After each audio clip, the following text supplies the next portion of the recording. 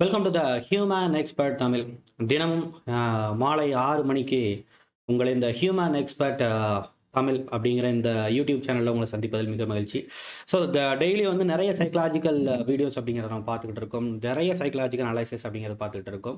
It's all because of we need to have the wonderful life இல்லையா? ஒரு பர்ஃபெக்டான நம்ம லைஃப் வாழணும்னா சைக்காலஜிங்கிறது ரொம்ப இம்பார்ட்டன்ட் மனிதர்களை பற்றி அறிஞ்சிக்கிறதுங்கிறது ரொம்ப முக்கியம். நம்மளுடைய மனசை பற்றி நம்மளுடைய ஓன் ஹேபிட்டை பற்றி அறிஞ்சிக்கிறதுங்கிறது ரொம்ப முக்கியம். ஸோ அதனால தான் வந்து இந்த மாதிரியான வீடியோஸ் அப்படிங்கிறத வந்து பார்க்க வேண்டிய கட்டாயம். ஒரு தேவை அப்படிங்கிறது இருக்குங்கிறத தெரிஞ்சுக்கணும். ஓகே இன்றைக்கி நம்ம பார்க்க வேண்டியது அப்படிங்கிறது இன்றைக்கி நம்ம பார்க்க போகிறது ஆல்ரெடி உங்களுக்கு இந்த தமிழ்நாட்டில் தெரிஞ்சிருக்கும். ஏன் வந்து நான் நிறைய பேர்கிட்ட ஏமாறேன் நான் எப்பொழுதுமே ஏமாளியாக இருப்பதற்கு காரணம் என்ன? அப்படி நான் வந்து ஏமாளித்தனத்திலேருந்து நான் வெளியில் வந்து நான் ஒரு புத்திசாலித்தனமான ஒரு வாழ்க்கையை நடத்தணும்னா நான் ஒரு புத்திசாலி ஆகணும்னா நான் செய்ய வேண்டியது என்ன? அப்படிங்கிற விஷயத்தை தான் இன்றைக்கு நம்ம பார்க்க போகிறோம் the first things we need to understand about ஏன் நான் ஏமாறுகிறேன் அப்படிங்கிறத நாம் வந்து சொல்லணும்னு சொன்னால் ஃபஸ்ட்டு திங்க் அப்படிங்கிறது the lack of understanding about the other human behaviour மற்றவருடைய மனிதர்களை பற்றியான அவர்களுடைய நடவடிக்கையை பற்றி நமக்கு என்ன இருக்குன்னா சரியான ஒரு புரிதல் அப்படிங்கிறது இல்லை அல்லது ரொம்ப புரிதலுங்கிறது ரொம்ப கம்மியாக இருக்குது அதனால தான் ஒருத்தவங்களை பார்த்தோன்னே நம்ம என்ன பண்ணிடுறோம்? இவர் நல்லவர். ஒருத்தர் நல்லா பேசுகிறாருனோடனே பரவாயில்லையே அவர் நல்லா பேசுகிறாருன்னு சொல்லிட்டு உடனே என்ன பண்ணிடுறோம் அப்படின்னு சொன்னால் ஏதாவது அவர் கொஞ்சம் கொஞ்சமாக ஒரு ரெண்டு மூணு தடவை பேச ஆரம்பிச்சிடா நாலாவது தடவை என்ன பண்ணிடுறாரு? அவர் ஒரு அமௌண்ட் கேட்டால் நம்ம வந்து அமௌண்ட் கொடுத்துட்றோம். அவர் ஏதோ ஒரு விஷயத்தில் இன்வெஸ்ட் பண்ண சொன்னால் நாம் வந்து இன்வெஸ்ட் பண்ணிடுறோம். ஈவன் நல்லா நீங்கள் பார்த்தீங்கன்னா தெரியும் ஒரு அஞ்சாறு ஸ்பீச்லேயே வந்து சில பேர் என்ன பண்ணிடுவாங்கன்னா பொண்ணையே கொடுத்துருவாங்க. ஸோ அந்த அளவிற்கு வந்து இருக்கக்கூடிய ஒரு விஷயமா இருக்கும். பட் கடைசியில் பார்க்கும் பொழுது இதெல்லாம் நடந்து முடிஞ்சதுக்கப்புறம் பார்த்தா தெரியும் அவர்கள் பயங்கரமான ஒரு ஏமாற்றுக்காரர்களாக இருப்பார்கள் அப்படின்னு. ஸோ ஜஸ்ட் ஒருத்தவங்க பேசுறது மூலமாக வச்சு அவங்களோட ஜஸ்ட் ஒரு ரெண்டு மூணு அவங்க அவங்க எப்படி வந்து நடந்துக்கிறாங்கிறத வச்ச உடனே நாம் வந்து அதை புரிஞ்சுக்கிட்டு நம்ம இப்படி வந்து ஏமாந்து போயிடுறோம்னா அதற்கு காரணம் அப்படிங்கிறது அவர்கள் உண்மையிலேயே வந்து நம்மளை வந்து மனுஷங்களை சரியாக நமக்கு வந்து புரிந்து கொள்ள தெரியவில்லை. அப்போ எப்படி புரிஞ்சுக்கிறது அப்படிங்கிற விஷயத்த ஒன் பை ஒன்னாக பார்ப்போம். இன்னும் சில ரீசன் இருக்குது அந்த ரீசனை பார்த்துட்டு கடைசி அதுக்கான சொல்யூஷன் அப்படிங்கிறத நம்ம வந்து பார்ப்போம் okay the second one is can't tolerate the situational pressure ரொம்ப முக்கியம். ஆப்போசிட்டில் இருக்க மனுஷங்களை பார்க்குறத விட ரொம்ப முக்கியம் என்னன்னா என்ன விஷயம்னா நம்மளுடைய சுச்சுவேஷனலுக்குன்னு ஒரு ப்ரெஷர் இருக்குல்ல. இந்த சூழ்நிலையில் இந்த விஷயத்த செஞ்சே ஆகணும்னு ஒரு ப்ரெஷர் இருக்குல்ல. என்னை பொறுத்த வரைக்கும் என்கிட்ட காசு இருக்குது ஆனால் காசு இருந்தால் உடனே எனக்கு செலவாயிடும். என்னுடைய நேச்சரே அதான். நான் காசை வச்சிருந்தா உடனே நான் செலவு பண்ணிடுவேன். அதனால் நான் என்ன பண்ணிடுறேன் எங்கிட்டாவது போய் இன்வெஸ்ட் பண்ணணும். அப்படி இன்வெஸ்ட் பண்ணணும் இன்வெஸ்ட் பண்ணணுங்கிற ப்ரெஷர்லேயே ஒரு தப்பான ஒரு நிறுவனத்தின் மேலே ஒரு தப்பான ஒரு நடவடிக்கையின் மேலே அதை வந்து நம்பி நம்ம என்ன பண்ணிடுறோம்? நம்ம இன்வெஸ்ட் பண்ணிடுறோம். நான் பொண்ணு வந்து இத்தனை வயசு அடிச்சு கட்டி கொடுத்தே ஆகணும் அப்படிங்கிற ஒரு ப்ரெஷர் இல்லை மாப்பிள்ளை இத்தனை வயசு அடிச்சு கட்டி கொடுத்தே ஆகணுங்கிற ப்ரெஷர் இந்த ப்ரெஷரை நாம வந்து ஹேண்டில் பண்ணாமல் உடனே நம்ம என்ன பண்ணிடுறோம்? ஏதோ ஒரு ஆளுக்கு நம்ம கல்யாணம் பண்ணி வச்சா போதும்னு சொல்லிட்டு சின்ன சின்ன விஷயங்களை மட்டும் பார்த்து நம்ம என்ன பண்ணிடுறோம்? உடனே முடிவெடுத்து உடனே நம்ம கல்யாணம் பண்ணி வச்சோம் ஸோ ரெண்டாவது முக்கியமான விஷயத்தை பொறுத்த வரைக்கும் we have the lack of tolerance on our own situation அதான் ரெண்டாவது. மூணாவது முக்கியமான விஷயத்தை பொறுத்த வரைக்கும் more anxious and safety seeker இந்த ஃபஸ்ட்டு ரெண்டாவது காரணத்துக்கும் மூணாவது காரணத்துக்கு ரொம்ப தொடர்பு இருக்கு. என்னன்னா மூன்றாவது என்ன காரணம்னா ரொம்ப பதட்டமா நம்மளோட இயல்பே எப்படிப்பட்டதா இருக்குன்னா ரொம்ப பதட்டமான ஒரு ஆளாக நம்ம இருக்கும். அப்படி பகட்டமாக எதை கண்டும் பயப்படக்கூடிய ரொம்ப ஈஸியாக வந்து ரொம்ப வல்னரபுளாக யார் வேணாலும் நீங்கள் பாதிச்சிடலாங்கிற மாதிரியான ஒரு உள்ள நமக்குள்ள ஒரு மாதிரியான ஒரு பயம் அப்படிங்கிறது நமக்குள்ளே இருந்துக்கிட்டே இருக்குது காரணம் புரியாத இனம் புரியாத பயம் அந்த பயப்படுறதே என்னுடைய நேச்சராக இருக்குது. அப்படி நேச்சராக இருக்கும்போது என்ன பண்ணிடுறேன்? நான் எப்பொழுதுமே ஒரு சேஃப்டி சீக்கராக வந்து இருக்கிறேன். சேஃப்டி சீக்கர்னா என்னது? எப்பொழுதுமே ஒரு பாதுகாப்பை தேடக்கூடிய ஒரு ஆளாக நான் இருக்கிறேன். இல்லையா? ஸோ எப்பயுமே அந்த பாதுகாப்பை தேடுறதுனால என்ன ஆயிடுது அப்படின்னு சொன்னால் அதான் சுச்சுவேஷனல் ப்ரெஷர் என்னால் டாலரேட் பண்ண முடியலன்னு நான் என்ன பண்ணுவேன்? ஒரு பாதுகாப்பான ஒரு இடத்தை தேடக்கூடிய ஒரு ஆளாக இருக்கும் அப்படி பாதுகாப்பான இடத்த எப்படி நான் டிட்டர்மைன் பண்ணுவேன் அப்படின்னு சொன்னால் எப்படி நான் முடிவு பண்ணுவேன்னா உடனே சில ரெண்டு மூணு விஷயத்தை பார்த்தோன்னே உடனே முடிவு பண்ணி உடனே அந்த விஷயத்தில் குறிச்சிடுறது ஓகே பல பேரை பொறுத்த வரைக்கும் நீங்கள் இந்த மீம்ஸ்லலாம் நீங்கள் பார்த்தீங்கன்னா தெரியும். என்ன பண்ணுவாங்கன்னு சொன்னால் கிணத்தை பார்த்தோன்னே மேலேருந்து பார்ப்பாங்க கிணறுன்னு ஒன்று இருக்கும் கிணறுன்னு ஒன்று இருந்தோடனே உடனே நேராக குறிச்சிடுவாங்க அது வந்து எந்த மாதிரி கிணறு? அதுக்கு வந்து அவ்வளோ ஆழம் இருக்குது இந்த மாதிரியான விஷயங்கள்லாம் எனக்கு தெரியாது. மேலேருந்து குச்சியோட நேராக போய் தலை போய் சொருகிடுவாங்க ஸோ அடிபட்டு பல பேர் மேலே வரக்கூடிய ஆளாக இருப்பாங்க. ஸோ ஜஸ்ட் மேலோட்டமாக பார்த்தோன்னே அதை முடிவு பண்ணிட்டு போவதற்கு மிக முக்கியமான காரணமாக we are being a safety சீக்கராக இருக்கிறோம். நாம் ஒரு பாதுகாப்பை எப்பொழுதுமே தேடக்கூடிய ஒரு ஆளாக நம்ம இருக்கிறோம். நம்மளால் இண்டிபெண்ட்டாக நம்மளால் இருக்க முடியல. இண்டிபெண்ட்டாக முடிவுகளை செய்ய முடியல. மொத்தத்தில் நாம் நிதானமாக இல்லாதது தான் மற்றவர்கள் நம்மை ஏமாற்றுவதற்கு காரணம் அப்படிங்கிறத இந்த மூன்று காரணத்து மூலமாக நம்ம தெரிஞ்சுக்கிடும் ஓகே இப்போ ஃபஸ்ட்டு ஓகே இப்போ ஃபஸ்ட்டு பொறுத்த வரைக்கும் நான் ஏற்கனவே சொன்னது போல் ஒரு மனுஷங்களை எப்படி எனக்கு அண்டர்ஸ்டாண்ட் பண்ணுறதுங்கிறது தெரியல. ஜஸ்ட்டு பேச்சை பேச்சை வச்சு நம்ம அண்டர்ஸ்டாண்ட் பண்ணலாமா? இல்லை எப்படி ஒரு மனுஷனை வந்து அனலைஸ் பண்ணுறது அப்படிங்கிற விஷயத்தை வந்து நம்ம ஃபஸ்ட் எடுத்தோன்னே பார்க்கலாம். நீங்கள் முதல்ல முக்கியமாக தெரிஞ்சுக்க வேண்டிய ஒரு விஷயம் இந்த நல்லவர் இந்த கெட்டவர் இந்த விஷயத்தை என்னைக்கு நீங்கள் தூக்கி போடுறீங்களோ அன்னைக்கு தான் நம்மளுடைய வாழ்க்கைங்கிறது உருப்படும். ஏன்னா நல்லவர்கள் எல்லாருமே வந்து என்ன பண்ணிட முடியாது? நல்ல விஷயங்களை செஞ்சிட முடியாது. கெட்டவர்கள் என்ன பண்ணுவாங்க? எப்பொழுதுமே கெட்டவங்க செஞ்சுட்டே இருக்க மாட்டாங்க. ஏன்னா இந்த நல்லது கெட்டதுங்கிறதுலேயே நிறைய காம்ப்ளெக்ஸான விஷயங்கள் இருக்குது ஏன்னால் இன்றைக்கு நாம் வந்து ஃபஸ்ட்டு எடுத்த உடனே ஒருத்தவங்களை நம்பி அவரை நல்லவருன்னு தான் நம்ம வந்து இது பண்ணுறோம் ஸோ இன்றைக்கு ஏமாற்றக்கூடியவர்கள் உண்மையிலேயே அவர் நல்லவராக இருந்தாலும் ஆனால் அவர் நம்ம ஏமாற்றுறாரு. காரணம் அவருக்கு ஒரு சுச்சுவேஷனல் ப்ரெஷராக இருக்கலாம். உடனே இதை வாங்கியே ஆகணும் நான் நல்லவன் தான். ஆனாலும் உங்ககிட்ட வாங்கி உங்களை நான் ஏமாற்றியே ஆகணுங்கிற ப்ரெஷர் எனக்குள்ள இருக்குது அதனால் தாங்கிக்க முடியல. உடனே நான் வந்து என்ன பண்ணிடுறேன்? உங்களை நான் ஏமாற்றி விடுகிறேன். அப்படிங்கிற மாதிரியான ஒரு ப்ரெஷரை வச்சு அவர் வந்து ஏமாத்துறார். ஸோ இந்த நல்லவன் கெட்டவங்கிற விஷயத்தையே முதல்ல நம்ம தூக்கி போடணும். மனுஷங்களை நல்லவர்களாகவோ கெட்டவர்களாகவோ முதல்ல நம்ம பார்க்கக்கூடாது. நம்ம பார்க்க வேண்டியது ஈவன் சைக்காலஜியில் வந்து எந்த விதமான ஒரு வேர்டுமே he's a good person he's a bad person எந்த ஒரு வார்த்தையுமே நீங்கள் சைக்கலாஜிக்கலாக எந்த புக்ஸ் எடுத்து பார்த்தீங்கனாலும் இருக்காது. ஸோ நாங்கள் குட் அண்ட் பேட் அப்படின்னு நாங்கள் என்றைக்குமே அனலைஸ் பண்ணுறதே கிடையாது. நாங்கள் ரெண்டே ரெண்டு முக்கியமான விஷயங்களை தான் அனலைஸ் பண்ணுறோம் அந்த அடிப்படையில் தான் நீங்களும் அனலைஸ் பண்ணணும். என்ன அப்படின்னா whether they are mentally stronger or weaker இல்லையா? மனதளவில் அவர்கள் எனது பலம் வாய்ந்த ஒரு ஆளாக இருக்கிறாங்களா? இல்லை பலவீனமான ஒரு ஆளாக இருக்கிறாங்கிறத நீங்கள் பார்க்கணும். அதை எப்படி நம்ம கண்டுபிடிக்கிறது அப்படின்னா நீங்கள் ஃபார் எக்ஸாம்பிள் ஃபினான்ஷியல் ஓரியன்டாக நீங்கள் போகிறீங்க ஸோ ஃபினான்ஷியலாக பொறுத்த வரைக்கும் நீங்கள் ஃபினான்ஷியலாக ஒருத்தவங்களுக்கு வந்து ஒருத்தவங்க மேலே வந்து நீங்கள் இன்வெஸ்ட் பண்ண போகிறீங்க அந்த பிஸ்னஸ் மேலே இன்வெஸ்ட் பண்ண போகிறீங்க அவர் சொல்கிறார் அவர் எப்படிப்பட்டவராக இருக்கிறார்? இந்த ஃபினான்ஷியல் விஷயத்தெல்லாம் எப்படி வந்து ஹேண்டில் பண்ணக்கூடிய ஒரு ஆளாக இருக்கிறார்? ஃபினான்ஷியல் ப்ராப்ளத்தை வந்து எப்படி ஹேண்டில் பண்ணக்கூடிய ஒரு ஆளாக இருக்கிறார்? ஸோ ஒட்டுமொத்தத்தில் அது சம்மந்தப்பட்ட பிரச்சனையை எப்படி வந்து ஹேண்டில் பண்ணுறாரு அப்படிங்கிற விஷயத்தை நீங்கள் பார்க்கும் பொழுதே வந்து உங்களுக்கு தெரிஞ்சு போயிடும் he is a stronger or weaker அப்படிங்கிறது. இல்லையா? அவர் வந்து தட்டு தடுமாறி அந்த விஷயத்தை அந்த ஃபினான்ஷியல் விஷயத்த வந்து அப்படியே அதில் ஒரு பேலன்ஸே இல்லாமல் இருப்பார் அவர்.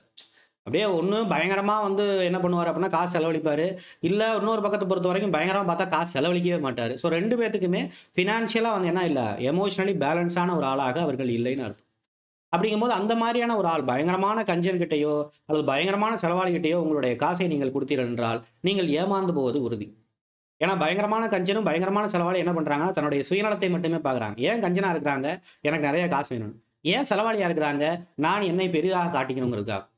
இந்த ரெண்டுத்துலையுமே பேலன்ஸ் அப்படிங்கிறதே இல்லை.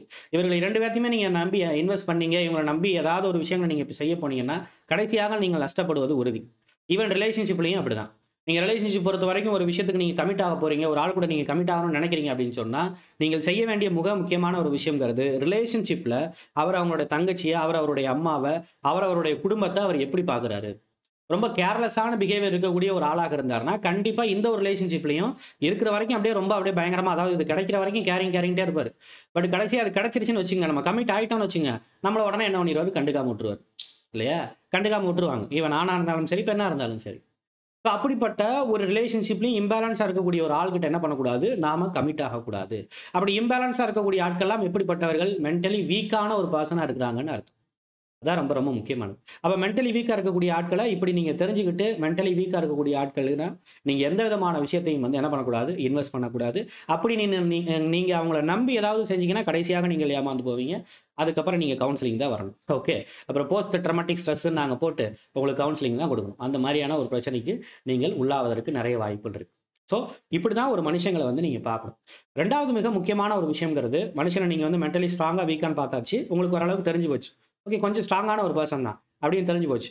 ரெண்டாவது முக்கியமான விஷயத்துல தான் நீங்கள் முடிவெடுக்க வேண்டியது இருக்குது ரெண்டாவது முக்கியமான விஷயத்தை நீங்கள் வச்சுக்கணும். என்னன்னா whether they have empathy or not உண்மையிலேயே எம்பத்தி எம்பத்தினானது பிறருடைய சூழ்நிலையை புரிந்து கொள்ளக்கூடியவர். பிறருடைய உணர்வுகளை புரிந்து கொள்ளக்கூடியவர். இல்லையா? அப்படி மற்றவங்களுடைய சூழ்நிலையை மற்றவங்களுடைய உணர்வுகளை புரிஞ்சுக்கிற மாதிரியான ஒரு ஆளாக இருக்கிறாராங்கிறத நாம் பார்க்கணும். என்றைக்குமே சுயநலவாதிகளுக்கு என்றைக்குமே என்ன இருக்காது? எம்பத்திங்கிறது ஒரு துளியளவும் இருக்காது. தன்னுடைய சுயத்தினுடைய நலத்தை மட்டும் தான் பார்த்துக்கிட்டே இருப்பாங்க எப்பயுமே தனக்கு தனக்கு தனக்குன்னு சொல்லிட்டு அவங்க வந்து செல்ஃபிஷாக இருப்பாங்களே இல்லையா அவங்க எப்பயுமே எம்பத்தியாக இருக்க மாட்டாங்க. அப்படி எம்பத்தி இல்லாத ஆட்கள்கிட்ட நீங்கள் கமிட் ஆனீங்கன்னு சொன்னால் ஃபினான்ஷியல் கமிட்மெண்ட்டாக இருந்தாலும் சரி அல்லது ரிலேஷன்ஷிப் ஓரியன்டாக கமிட் ஆனாலும் சரி நீங்கள் ஏமாந்து போவது உறுதி. அப்போ மென்டலி ஸ்ட்ராங்காக இருக்கக்கூடிய ஒரு ஆளாக இருக்கணும். அதே நேரத்தில் அவருக்கு எம்பத்தி இருக்கணும். ரொம்ப முக்கியமானது. பிறரை புரிந்து கொள்ளக்கூடிய பிறருடைய உணர்வுகளுக்கு மதிப்பளிக்கக்கூடிய அந்த ப- உணர்வுகளை புரிஞ்சுக்கிட்டு அதுக்கு ஏற்ற மாதிரி நடந்துக்கக்கூடிய ஒரு ஆளாக இருக்கணும். ரொம்ப ரொம்ப நாகரிகமாக நடந்துக்கக்கூடிய ஒரு ஆளாக இருக்கணும். அன்கான்சியஸாகவும் அப்படி அவர் அப்படி தான் இருக்கணும். அந்த அன்கான்சியஸ் பிஹேவியர் தான் ரொம்ப முக்கியம். நம்ம முன்னாடி நாகரிகமாக நடந்துக்கிட்டு அங்கிட்டு போன உடனே வந்து அவர் வேற மாதிரி நடந்துக்கிறது வாய்ப்பு இருக்கு இல்லையா? அவர் அங்கே நம்மளை முன்னாடி நாட நாகரிகமாக நடந்துக்கும் போது அவருடைய சின்ன சின்ன ஆக்டிவிட்டீஸை வச்சு நீங்கள் இது பண்ணிக்கலாம். சின்னதாக அவர் இந்த ஃபார் எக்ஸாம்பிள் உங்கள் கூட வந்து ஒரு டின்னர் ஷேர் பண்ணுறாரு பண்ணுறாரு இல்லை ஒரு பிரேக்ஃபாஸ்ட் ஷேர் பண்ணுறாரு அப்படின்னா அங்கே நடக்கக்கூடிய சின்ன சின்ன விஷயங்கள் அவர் வந்து அந்த பேரரை எப்படி மதிக்கிறாரு? அவருக்கே தெரியாமல் வந்து அவர் வந்து சாப்பிடும்போது அவர் மொபைல் பார்க்குறாரா இல்லையா? அல்லது வந்து அந்த டைனிங் மேனஸ் அப்படிங்கிறத பொறுத்த வரைக்கும் எப்படி இருக்குது ஸோ இந்த மாதிரியான விஷயங்கள்லாம் சின்ன சின்னதாக அவருக்கே தெரியாமல் அவர் செய்யக்கூடிய தவறுகளை நீங்கள் நோட் பண்ணிங்கனாலே போதும். அவர் தவறு செய்கிறாரா இல்லையா? மென்டலி வீக்காக இருக்காரா? ஸ்ட்ராங்காக இருக்காங்கிற தெரிஞ்சுக்கலாம். ஓகே ஸோ அதை பொறுத்த அது அதை பொறுத்த வரைக்கும் நீங்கள் அந்த எம்பத்தி பொறுத்த வரைக்கும் ஈஸியாக வந்து அதில் நீங்கள் புரிஞ்சுக்கலாம். இதுதான் ரொம்ப முக்கியமான ஒரு விஷயம். மூன்றாவது ஒரு முக்கியமான விஷயத்தை பொறுத்த வரைக்கும் across as the situational pressure and the safety issues okay இதெல்லாம் நீங்கள் தெரிஞ்சாச்சு. ஓகே இதெல்லாம் உங்களுக்கு புரிஞ்சிச்சு எம்பத்தி இருக்கக்கூடிய ஆள் வேணும். மென்டலி ஸ்ட்ராங்காக இருக்கக்கூடிய ஆள் வேணும். நான் பார்த்துட்டேன். ஓகே உங்கள் மேலே இன்வெஸ்ட் பண்ணலாமான்னா தாராளமாக நீங்கள் இன்வெஸ்ட் பண்ணலாம். பட் மூணாவது முக்கியமான விஷயத்தை பொறுத்த வரைக்கும் நீங்கள் என்ன தெரிஞ்சுக்க வேண்டியது இருக்குது சுச்சுவேஷனல் ப்ரெஷர் உங்களுக்கு இருக்கு இல்லையா? இதை நீங்கள் ரொம்ப முக்கியமாக ஹேண்டில் பண்ணணும். நான் ஏற்கனவே சொன்னது போல். சுச்சுவேஷனல் ப்ரெஷர்னா என்னது? இந்த சுச்சுவேஷன் நமக்கு நடந்துகிட்டு இருக்கு இதில் ஒரு பிரச்சனை இருக்குது இந்த பிரச்சனையை தீக்கிறதுக்கு இது ஒன்று தான் வழியாக இருக்குது உடனே இந்த வழியை நம்ம செஞ்சிடணும் அப்படின்னு சொல்லிட்டு செய்யாமல் இந்த சுச்சுவேஷனல் ப்ரெஷரை நமக்குள்ள டைஜஸ்ட் பண்ணிக்கிறதுக்கு பார்க்கணும்.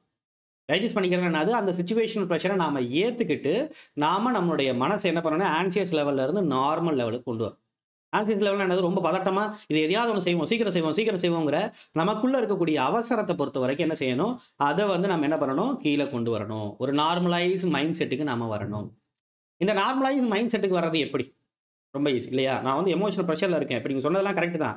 நான் வந்து நல்லவனான்னு பார்த்துருக்கணும். நான் வந்து நான் நான் நான் நல்லவனா கெட்டவனாங்கிறத பார்த்துக்கிட்டு இருந்தேன். நான் வந்து உண்மையிலே மென்டலி வீக்கான ஆளா ஸ்ட்ராங்கான ஆளாங்கிறத பார்க்கறதுக்கு எனக்கு உடனே நம்ம ஈஸியாக சொல்லிவிடுவோம் எனக்கு டைம் இல்லைப்பா அப்படின்னு நம்ம சொல்லிடுவோம் இல்லையா? வாழ்க்கையில் முக்கியமான நேரத்துக்கே வந்து நமக்கு டைம் ஒதுக்கலைன்னா வேறு விஷயத்துக்கு டைம் ஒதுக்கி நம்ம என்ன பண்ண போகிறோம் இல்லையா?